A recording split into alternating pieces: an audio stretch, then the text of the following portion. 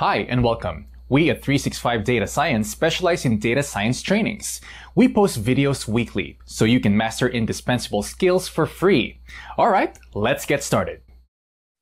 Conditional probability is the likelihood of an event occurring, assuming a different one has already happened. In this lecture, we are going to show you how to compute and interpret such probability.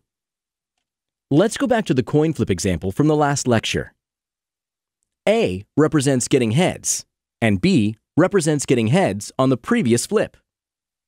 The probability of getting heads now, after getting heads last time, is still 0.5. Therefore, P of A equals P of A given B. This is equivalent to saying the two events are independent. Earlier in the course, we also mentioned that if any two events are independent, the probability of their intersection is the product of the individual probabilities. Now, let us examine the Queen of Spades example, where A represented drawing the exact card, B represented drawing the correct suit, and C represented getting a queen. Normally, the probability of drawing the Queen of Spades is equal to 1 over 52. However, it increases if we know it's a spade, since P of A given B is 1 over 13, and P of A is 1 over 52. We can say the two events are dependent.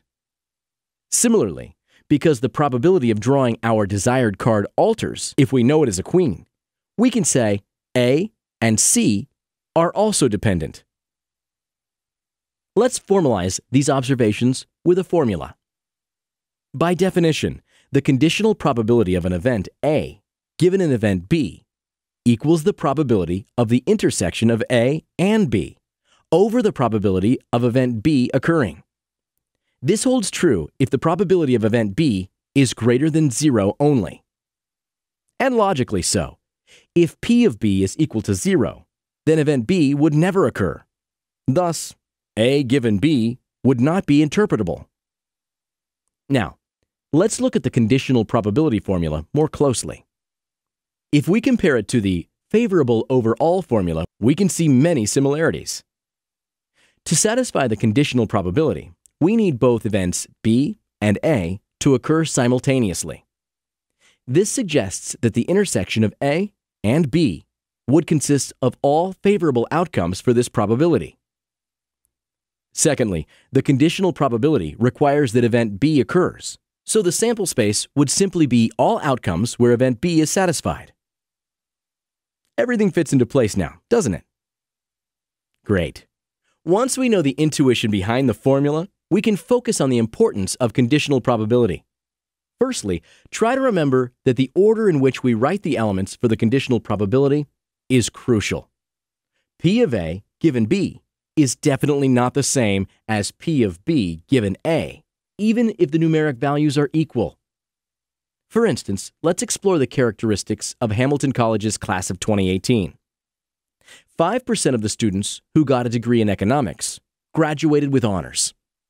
At the same time, 5% of all students who graduated with honors completed a concentration in economics. These two statements might have the same conditional probability, but they hold completely different meanings. In particular, the first one suggests that only four of the 80 economics majors graduated with distinction. The second one suggests that four out of the 80 students who graduated with high grades completed a degree in economics. Many scientific papers rely on conducting experiments or surveys. They often provide summarized statistics we use to analyze and interpret how certain factors affect one another. An example would illustrate this better. Imagine you conducted a survey where 100 men and women of all ages were asked if they eat meat. The results are summarized in the table on the screen. We see 15 of the 47 women that participated are vegetarian, as are 29 out of the 53 men. Now, if A represents being vegetarian and B represents being a woman, then P of A given B and P of A given A express different events. The former equals 15 over 47, and represents the likelihood of a woman being vegetarian, while the latter equals 15 over 44 and expresses the likelihood of a vegetarian being a woman. Since 15 over 44 is greater than 15 over 47, it is more likely for a woman not to eat meat than for a vegetarian to be female. That's quite interesting and shows you that in probability theory, things are never straightforward. Now that you understand the distinctions between the different conditional probabilities of two events, we can introduce an important concept the law of total probability. Okay, imagine A is the union of some finitely many events, B1, B2, and so on. This law dictates that the probability of A is the sum of all the conditional probabilities of A, given some B, multiplied by the probability of the associated B. To clear any confusion, let us go back to the survey example. The probability of being vegetarian equals the sum of the probability of being a vegetarian, given the person is male, times the probability of being male, and the probability of being a vegetarian, given the person is female, multiplied by the probability of being female.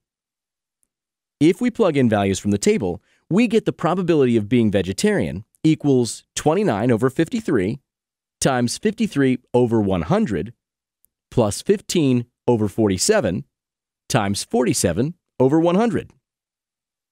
That's 44 over 100, or 0.44. Therefore, according to the survey, there is a 44% chance of someone being vegetarian. We can refer back to the table and confirm the probability of being vegetarian is indeed 0.44. So, our answer checks out. If you found this video interesting and want to gain an edge in your career, make sure to like, comment, and subscribe. And don't forget to check out some of our other videos for another quick win in the data science skills department.